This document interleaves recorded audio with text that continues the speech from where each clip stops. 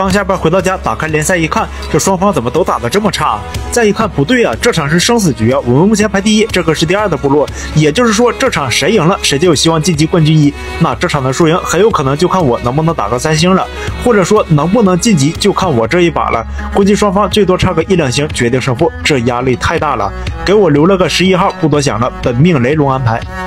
这个阵型的框架还是比较熟悉的，冲杯经常见到，但是陷阱不同，打起来效果也完全不一样。我将用投石车清理一个角落，打算先把大本营上边的防御都清了，再把狂暴法术塔给触发，从正面开打，毕竟这场至关重要，起码先保证二星再说。这要是打个一星，我这老生者的脸还往哪放啊？他这里的陷阱真的挺多，两条雷龙很快就没了。这个地狱塔如果不打掉会很烦，用气球给他打掉，不然一会儿我用雷龙打这个蛮王的时候，他会一直消耗我。这场打的时候，整个人都是很紧张的。这不前期也算是打到预算吧？法术塔也触发了，然后双王右侧清理建筑，等投石车打掉左边的火箭，就可以下雷龙了。